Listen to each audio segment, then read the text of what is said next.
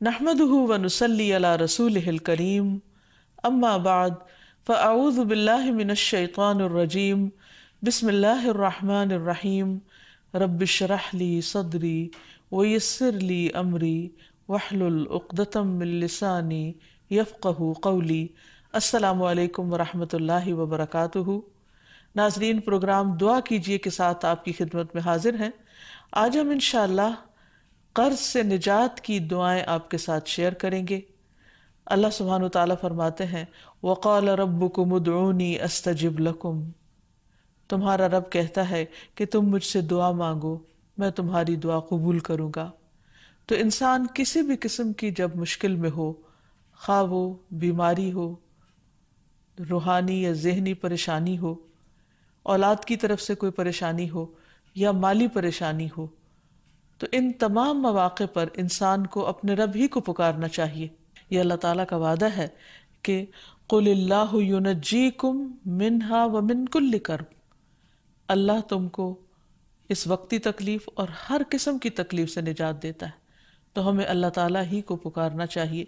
फिर इसी तरह अल्लाह ताला को पुकारने से पहले अल्लाह ताला की तारीफ़ और तारीफ़ के बेपनाह कलिमात। अल्लाह ताला की तारीफ़ के कलिमात इतने ज़्यादा हैं कि अगर इंसान उनको सारी ज़िंदगी भी शुमार करता रहे तो शुमार न कर सके।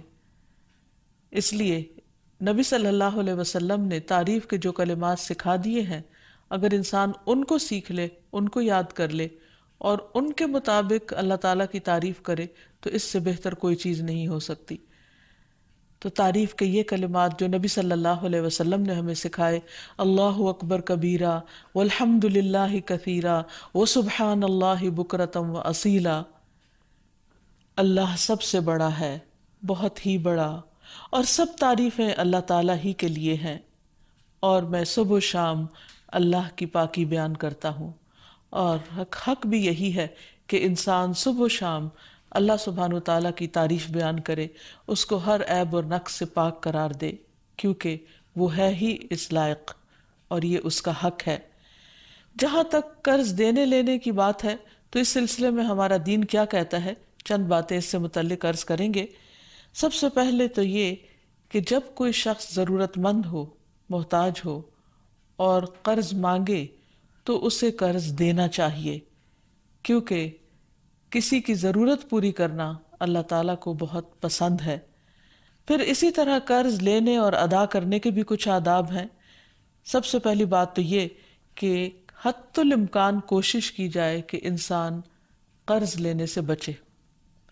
क्योंकि कर्ज लेने से उमूमन मोहब्बत के रिश्ते और ताल्लुक ख़त्म हो जाते हैं। वैसे भी जब दूसरे इंसान को ये पता चलता है कि कर्ज लेने वाला या मांगने वाला मोहताज है तो उसके ज़रूरतमंद होने की वजह से या उसकी माली हैसियत की कमी की वजह से दूसरे के दिल में उसके मकाम में कमी आ जाती है। तो इसलिए इस चीज़ से हतुल इम्कान इंसान बचे और फिर हर मामले में इंसान अल्लाह ताला ही से मांगे और कोशिश करे कि वो लोगों से कर्ज ना ले। लेकिन फिर भी इंसान इंसान है। इंसान के लिए माली मामलात माली मुश्किल उसके लिए एक आजमाइश होती हैं, एक इम्तहान होती हैं, उसे दूसरों से मांगने की ज़रूरत पेश आ जाती है। तो ऐसी सूरत में इंसान सिर्फ़ जायज़ ज़रूरतों के लिए मांगे अयाशी के लिए या सिर्फ़ ख्वाहिशात की तकमील के लिए कर्ज ना ले किसी से। यहाँ तक इस चीज़ से रोका गया कि अगर कोई शख्स हज पे जाने की भी, यानी इतने बड़े नेक काम की भी ख्वाहिश रखता है और उसके लिए वो कर्जा लेना चाहता है तो इससे मना किया गया। तारिक बिन अब्दुलरहमान से मरवी है कि उन्होंने नबी सल्लल्लाहु अलैहि वसल्लम के सहाबी अब्दुल्लाह बिन अबी औफा से सवाल किया कि एक शख्स ने हज नहीं किया, क्या वो हज के लिए कर्ज ले सकता है? तो उन्होंने कहा कि नहीं। यानी हज जैसे नेक काम के लिए भी कर्ज नहीं लेना चाहिए। फिर इसी तरह कर्ज से पाक होना जन्नत में दाखिले की जमानत है। नबी करीम सल्लल्लाहु अलैहि वसल्लम ने फरमाया, जिस शख्स की रूह उसके जिस्म से इस हाल में जुदा हो, कि वो तीन चीज़ों से बरी हो तो वो जन्नत में दाखिल होगा। तकबर कर्ज और माल गनीमत में ख़यानत। यानी जो शख्स इन तीन चीज़ों से बच गया, वो नजात पा गया। फिर इसी तरह यह है कि बाज़ात इंसान किसी शरय मकसद के लिए कर्ज लेता है। यानी हकीकी ज़रूरत के लिए कर्ज लेता है। तो ऐसी सूरत में अब्दुल्ला बिन जाफ़र फरमाते हैं कि रसूलुल्लाह सल्लल्लाहु अलैहि वसल्लम ने फरमाया, अल्लाह ताला कर्ज लेने वाले के साथ है। यानी अगर कोई वाकई हकीकी जायज़ ज़रूरत के लिए लेता है तो अल्लाह ताला उसकी मदद करते हैं, यहाँ तक कि वो अपना कर्जा अदा करे। बशर्ते के कर्जा ऐसे मकसद के लिए ना हो जो अल्लाह ताला को नापसंद हो। यानी इससे ये भी पता चलता है कि किसी नाजायज़ मकसद के लिए, किसी हराम काम के लिए और महज ख्वाहिशात की तकमील के लिए कर्ज ना लिया जाए और अगर इंसान जायज़ ज़रूरत के लिए लेता है और फिर वापस करेगा और करने की नीयत रखता है तो अल्लाह सुबहान ताला उसकी मदद फरमाएगा। फिर इसी तरह यह भी याद रखना चाहिए कि इंसान कर्ज लेने के बाद उसको अदा करने की फ़िक्र करे। क्योंकि जब इंसान किसी को कर्ज देने की, यानी कर्ज लौटाने की सलाहियत रखता हो और फिर कर्ज वापस न करे तो ऐसा करना बहुत बड़ा जुल्म है। रसूलुल्लाह सल्लल्लाहु अलैहि वसल्लम ने फरमाया, कर्ज अदा करने में मालदार की तरफ़ से टाल मटोल करना जुल्म है। और अगर तुम में से किसी का कर्ज किसी मालदार के हवाले किया जाए तो उसे कबूल करे। यानी कर्ज खाह को कहा जाए कि किसी दूसरे ने मेरा कर्ज देना है, उससे ले लो तो वो मान जाए। फिर इसी तरह यह है कि आप सल्लल्लाहु अलैहि वसल्लम ने इस बात की भी तलकीन फरमाई कि इंसान जब कर्ज वापस करे तो अच्छे तरीके से, भले तरीके से खुश दिली के साथ दूसरे को सताए नहीं। फिर इसी तरह यह है कि हमें यह भी तलकीन की गई है कि जिसका कर्ज अदा करना हो, यानी जिसका कर्ज लौटाना हो उसको हदिया कबूल नहीं करना चाहिए। अबू बुरदा कहते हैं कि मैं मदीना हाजिर हुआ तो मैंने अब्दुल्ला बिन सलाम रज़ी अल्लाह अनहु से मुलाकात की। उन्होंने कहा, आओ, तुम्हें मैं सत्तू और खजूर खिलाऊँगा। और तुम एक बाजमत मकान में दाखिल हो गए कि रसूलुल्लाह सल्लल्लाहु अलैहि वसल्लम भी चूँकि वहाँ तशरीफ़ ले गए थे, इसलिए उन्होंने उसको बाजमत कहा। फिर आपने फरमाया, तुम्हारा क़्याम एक ऐसे मुल्क में है जहाँ सूदी मामला बहुत आम हैं अगर तुम्हारा किसी शख्स पर कोई हक हो, और फिर वो तुम्हें एक तिनके या जौ के दाने बराबर भी या एक घास के बराबर भी हदिया दे तो उसे कबूल ना करना, क्योंकि वो भी सूद है। फिर इसी तरह हमारे दीन ने हमें यह भी सिखाया है कि अगर कोई शख्स अपना कर्ज न लौटा सकता हो तो कोई दूसरा शख्स उसकी तरफ़ से अदा कर दे। यानी इंसान किसी और के कर्ज अदा करने की ज़िम्मेदारी ले ले, क्योंकि रसूलुल्लाह सल्लल्लाहु अलैहि वसल्लम ने फरमाया, मैं हर मोमिन के लिए उसकी अपनी ज़ात से भी ज़्यादा उसके करीब हूँ। जो शख्स कर्ज या छोटी औलाद छोड़ कर जाए तो उनकी परवरिश मेरे ज़िम्मा है, और जो शख्स माल छोड़ कर जाए, वो उसके वारिसों का है। तो इससे ये पता चलता है कि नबी सल्लल्लाहु अलैहि वसल्लम दूसरों के कर्ज अदा कर दिया करते थे। फिर इसी तरह ज़क़़त से भी कर्ज की अदायगी की जा सकती है। कुरान मजीद में आता है इन नमसदक़ातफ़रा इवल मसाकिन वल आमिलीन अलैहा वलमफ़त क़लूबहम वफ़िर रिक़ाब वलगारमीन वफ़ी सबील वबन सबील फ़रीदतम अल्लाह वल्लाहु अलीम बेशक सदक़ात तो दरअसल फ़कीरों, मिसकीनों और उन कारिंदों के लिए हैं जो उनकी वसूली पर मुकर हैं। नीस तालीफ़ क़ल्ब ग़ुलाम आज़ाद कराने कर्जदारों के कर्ज उतारने अल्लाह की राह में और मुसाफिरों पर खर्च करने के लिए हैं। यह अल्लाह की तरफ़ से फरीज़ा है और अल्लाह सब कुछ जानने वाला और हिकमत वाला है। तो इससे ये पता चलता है कि अगर कोई शख्स मजबूर हो, तकलीफ़ में हो, कर्ज के बोझ तले दबा हुआ हो तो उसका बोझ उतारने के लिए अगर वैसे कोई ज़रिया ना बन पाए और कोई मदद करने को तैयार ना हो तो फिर उसकी मदद ज़क़़त के माल से भी की जा सकती है। लेकिन ये बात याद रहे कि हर इंसान जो कर्ज ले, वो कर्ज अदा करने की नीयत रखे। क्योंकि जो शख्स कर्ज अदा करने की नीयत करेगा, अल्लाह सुबहान तला की उसके साथ मदद होगी और इसके लिए इंसान को भरपूर कोशिश भी करनी चाहिए। हज़रत आयशा कहती है कि नबी सल्लल्लाहु अलैहि वसल्लम ने फरमाया, मेरी उम्मत में से जो शख्स कर्ज का बोझ उठाए और उसे अदा करने की कोशिश करते हुए फौत हो जाए लेकिन वो कर्ज अदा न कर सके तो मैं उसका वली हूँ। यानी नबी सल्लल्लाहु अलैहि वसल्लम ने उसको अपने ज़िम्मे लिया। फिर क्योंकि ये एक बहुत बड़ी नेकी है, एक बहुत बड़ा सवाब का काम है, फिर इसी तरह यह है कि इंसान को इसकी बहुत ज़्यादा फ़िक्र भी होनी चाहिए। अब हुरारा कहते हैं कि नबी सल्लल्लाहु अलैहि वसल्लम ने फरमाया, मेरे लिए ये बात बायस मुसरत नहीं कि मेरे पास ओहद के पहाड़ बराबर सोना हो और तीसरी रात मुझ पर आ जाए और उनमें से एक दीनार भी मेरे पास बाकी हो। यानी उसे मैं अल्लाह के रास्ते में खर्च ना कर दूँ। सिवाय उस दीनार के कि उसको मैं अपने कर्ज की अदायगी के लिए बचा रखूँ। यानी आप सदका करने से ज़्यादा इस बात को अहमियत देते थे कि कर्ज को वापस कर दिया जाए। क्योंकि कर्ज का अदा करना फ़र्ज़ है और सदका खैरात जो है वो एक नफली इबादत है। इसी तरह हम देखते हैं कि हमें यह भी सिखाया गया है कि जब कोई फौत हो जाए तो उसके छोड़े हुए माल में से सबसे पहले कर्ज चुकाया जाए उसका। और फिर उसके बाद उसकी वसीयत पूरी की जाए। कुरान मजीद में भी इसका ताकीदी हुक्म मिलता है। हज़रत अली रज़ी अल्लाह फरमाते हैं कि रसूलुल्लाह सल्लल्लाहु अलैहि वसल्लम ने कर्ज वसीयत से पहले अदा करने का हुक्म दिया, जबकि तुम लोग कुरान में वसीयत को पहले और कर्ज को बाद में पढ़ते हो। तो अबू ईसा कहते हैं कि आम उलमा का इस पर अमल है कि वसीयत से पहले कर्ज दिया जाए, क्योंकि कर्ज अदा करना फ़र्ज़ के दर्जे में है। और फिर कुरान मजीद में पहले क्यों आया है कि वसीयत को पूरा किया जाए? क्योंकि कर्ज वाला तो कर्ज का खुद मुतालबा कर लेगा। लेकिन वसीयत जिसके हक में की गई हो हो सकता है उसे मालूम भी ना हो। तो उसकी अहमियत बताने के लिए कि वसीयत को भी पूरा करना ज़रूरी है। लेकिन अगर मैयत जो है उसके ज़िम्मे कर्ज है और उसके साथ साथ वो वसीयत भी कर चुका है तो पहले कर्ज अदा होगा, अगर माल बचेगा तो वसीयत पूरी की जाएगी। फिर इसी तरह यह है कि अगर कोई शख्स कर्ज अदा नहीं करता तो उसकी रूह उसकी वजह से कैद में होती है। समरा कहते हैं कि रसूलुल्लाह सल्लल्लाहु अलैहि वसल्लम ने हमें खुतबे में फरमाया, क्या यहाँ बनी फलां का कोई शख्स है? तो किसी ने कोई जवाब नहीं दिया। फिर पूछा, क्या यहाँ बनी फलां का कोई शख्स है? फिर किसी ने कोई जवाब नहीं दिया। फिर आपने पूछा, क्या यहाँ बनी फुला का कोई शख्स है? तो एक शख्स ने खड़े होकर कहा कि मैं हूँ अल्लाह के रसूल सल्लल्लाहु अलैहि वसल्लम। आपने फरमाया, पहले दो बार पूछने पर तुमको जवाब देने में किस चीज़ ने रोका था? मैं तुम्हें तुम्हारी ही भलाई की खातिर पुकार रहा था। तुम्हारा साथी अपने कर्ज के सबब कैद में है। समरा कहते हैं, मैंने उसे देखा कि उस शख्स ने उसका कर्ज अदा कर दिया। यहाँ तक कि कोई उससे अपना कर्ज मांगने वाला न बचा। यानी आप सल्लल्लाहु अलैहि वसल्लम ने इस बात का अहतमाम किया कि मैयत की रूह को आज़ाद कराने के लिए उसके कर्जे चुका दिए जाएँ। याद रहे कि शहीद से भी कर्ज माफ़ नहीं।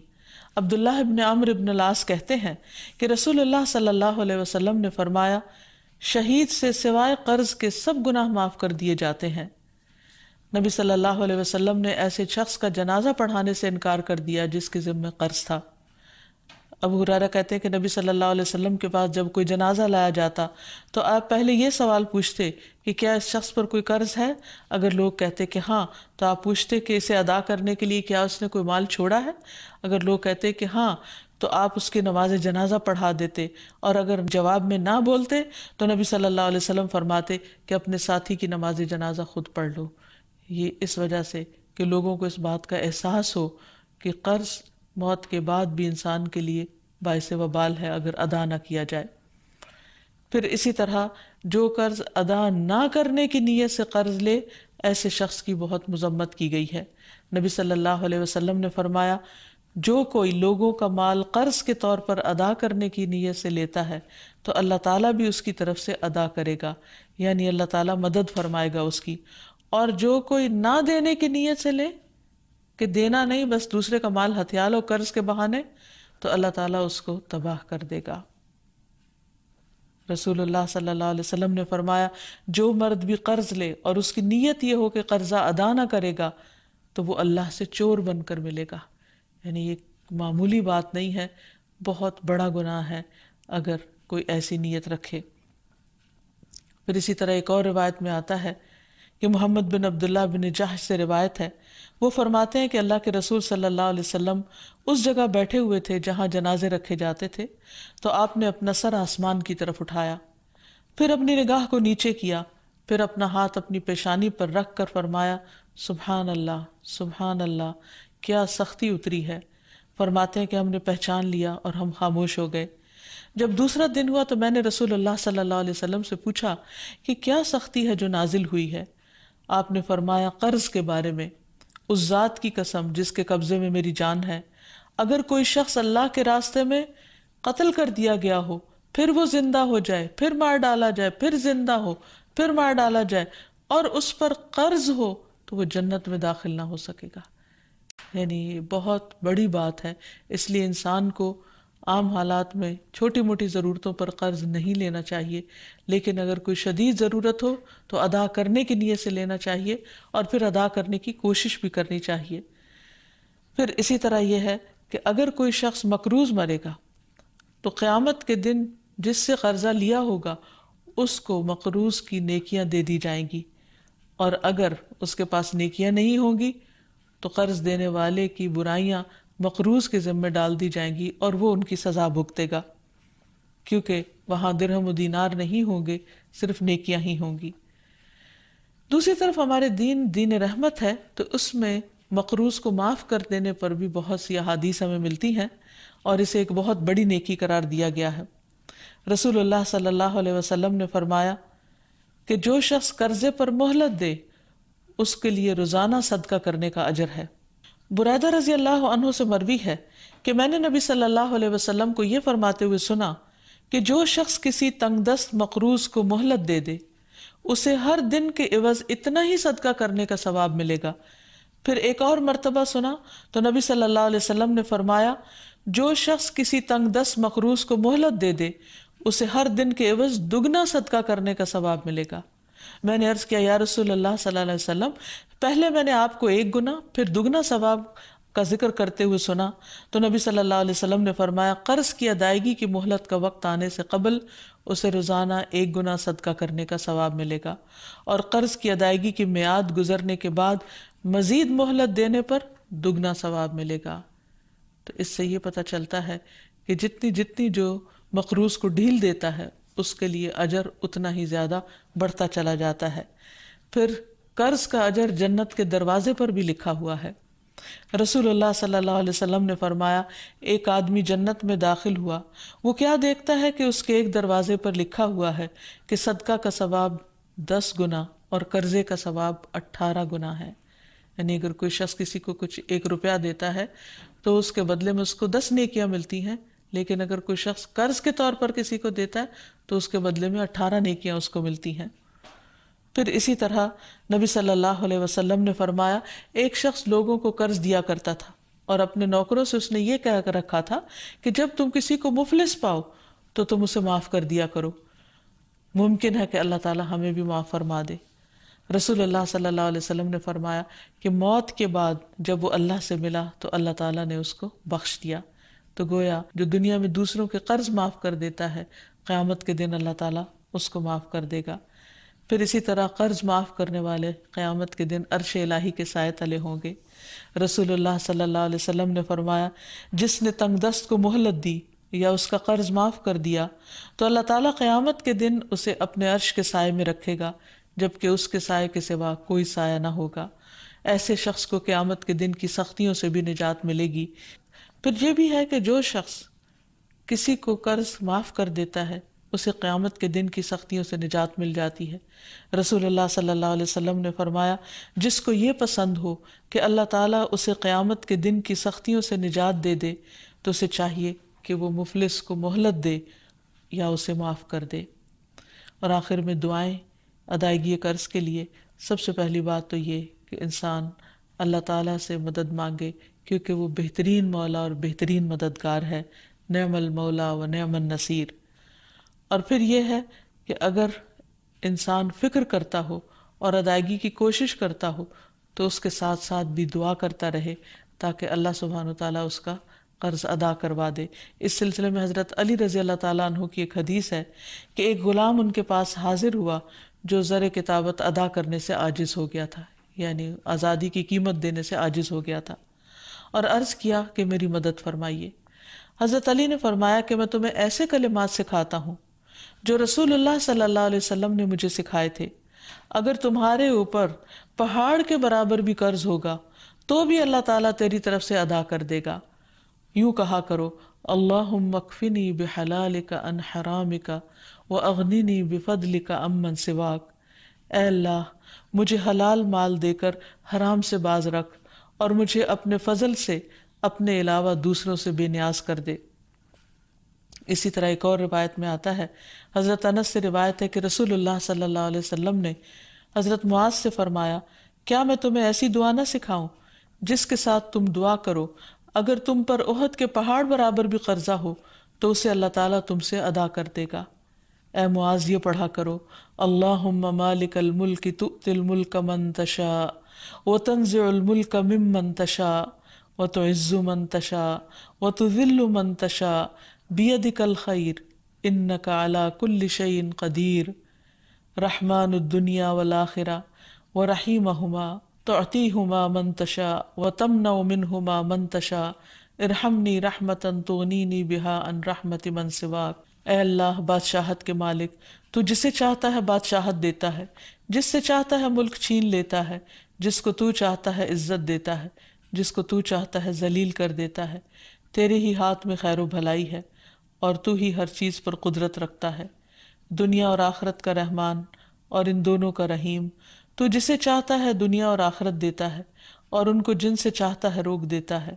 मुझ पर ऐसी रहमत फरमा जो मुझको तेरे अलावा की रहमत से बेनियाज कर दे। नबी सल्लल्लाहु अलैहि वसल्लम की दुआओं में से कर्ज से पनाह मांगने की दुआ भी थी। नमाज़ के बाद ये पढ़ते थे, अल्लाहुम्मा इन्नी आऊदबिका मिनल मअसमी वल मगरम। ए अल्लाह, मैं गुनाह और कर्ज से तेरी पनाह माँगता हूँ। किसी ने अर्ज़ किया, या रसूलुल्लाह सल्लल्लाहु अलैहि वसल्लम, आप कर्ज से इतनी पनाह मांगते हैं? आपने जवाब दिया, जब आदमी मकरूज होता है तो झूठ बोलता है और वादा करता है तो खिलाफ वर्जी करता है। फिर सोने से पहले की दुआएँ जो हैं, उनमें भी कर्ज की अदायगी की दुआ है। फिर इसी तरह सफ़र में भी कर्ज से पनाह की दुआ है, क्योंकि मुसाफिर की दुआ कबूल होती है। नबी सल्लल्लाहु अलैहि वसल्लम जब कहीं क़याम फरमाते तो ये दुआ पढ़ते, अल्लाहुम्मा इन्नी आऊदु बिका मिनल हम्मी वल हज़नी, वल अज्ज़ी वल कसली, वल बुखली वल जुबनी, व दलादनी व गलबत रिजाल। अल्लाह, मैं तेरी पनाह माँगता हूँ गम और रंज से आजजी से, सुस्ती से, बुखल से और बुजदिली से। और कर्ज चढ़ जाने और लोगों के गलबे से। तो ये हैं वो चंद मसनून दुआएँ जो नबी सल्लल्लाहु अलैहि वसल्लम ने सिखाई। अगर इंसान इनको पढ़ता रहे तो कर्ज से निजात हासिल हो जाएगी। अल्लाह ताला हम सबको हर तरह की परेशानियों से महफूज रखे। व आखिर दावाना अनिलहमदिल्ला रबालमीन